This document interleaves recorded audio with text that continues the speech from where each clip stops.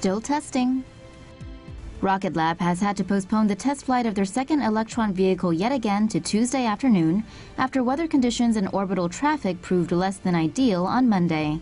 The Electron rocket, known as Still Testing, is currently at a launch site in New Zealand. It's 17 meters long and can carry a 150 kilogram payload into orbit.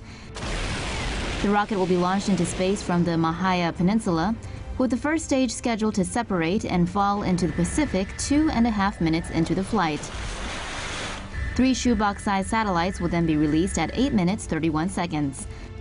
The single Dove Pioneer CubeSat is an Earth imaging satellite, while the two Lemur 2 satellites are used for weather mapping and ship traffic tracking. Rocket Lab successfully launched its first Electron rocket in May of 2017, though it failed to reach orbit. The company originally planned three test flights and will run a third test launch if needed. Three, two, one, blast off. SpaceX rocket really blows. Face boom!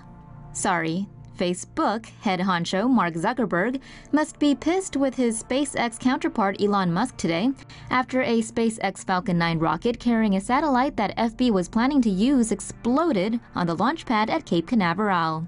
The blast occurred as the rocket was being fueled on Thursday, but the cause of the explosion was not immediately known. The SpaceX Falcon 9 rocket is designed to transport satellites and spacecraft into space. It has nine first stage engines, which can sustain two engine shutdowns during flight without compromising the mission. The second stage delivers the payload into orbit. Its single engine can be reignited several times to send multiple payloads into space. The first stage of the rocket is designed to return to Earth so it can be reused. Rocket burns decelerate the Falcon 9 before four landing legs deploy. The Falcon 9 that exploded on Thursday was carrying an Amos 6 satellite, which Facebook planned to use to boost internet connectivity in Africa. The 62 million US dollar Falcon 9 rocket was due to launch on Saturday. Mark Zuckerberg wrote on Facebook that he was deeply disappointed by the mission's failure. And Elon Musk aside, he definitely won't be the only one. Facebook is a customer of Israeli company Spacecom, which owns the Amos 6 satellite. It remains to be seen if the blast will scupper Spacecom's 285 million sale to a Chinese company, which was announced last week. Conditions attached to the deal said the satellite had to be launched successfully and complete in-orbit tests. Whoops. World's largest aircraft, the Stratolaunch, nears completion. Seattle-based company Vulcan Aerospace announced that its Stratolaunch Systems, an air launch platform for rockets, is close to completion. The Stratolaunch has a wingspan of 385 feet and measures 238 feet in length. The six-engine aircraft is currently the world's largest. The Stratolaunch is designed to carry rockets weighing up to 275 tons. It would take off from a runway with the rocket attached to its belly and release the rocket when it reaches 35,000 feet. The rocket then fires its own engine and travels towards its orbit.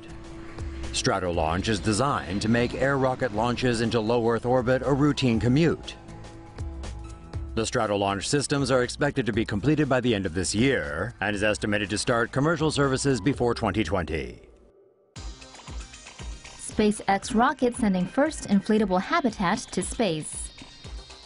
It sounds like a sci-fi dream, but the International Space Station crew is getting their first attachable, expandable room when an unmanned SpaceX spacecraft takes off on Friday. When SpaceX's Falcon 9 rocket launches from Florida on April 8th, it'll be sending the Dragon cargo capsule to the International Space Station with 7,000 pounds of supplies. A prototype expandable space habitat called the Bigelow Expandable Activity Module, or BEAM, will be included in the cargo. Air stored inside the BEAM will inflate the habitat to up to 13 feet long and a diameter of 10 feet.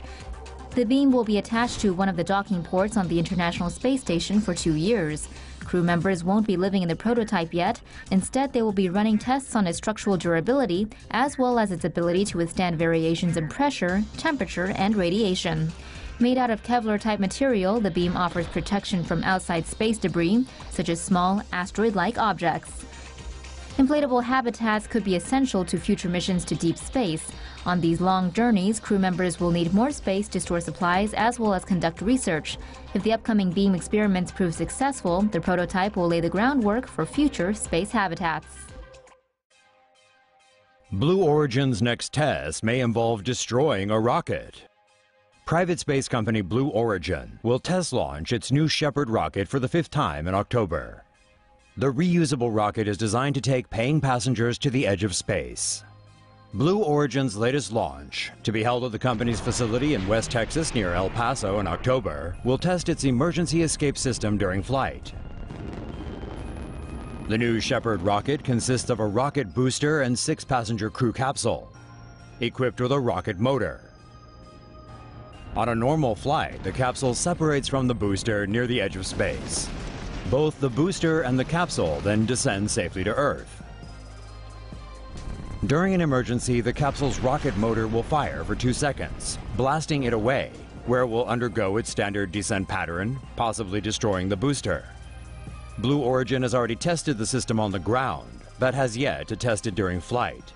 When the New Shepard is at 16,000 feet, around 45 seconds after launch, the company will trigger the capsule's escape sequence. Let's cross our fingers we'll see the New Shepard again.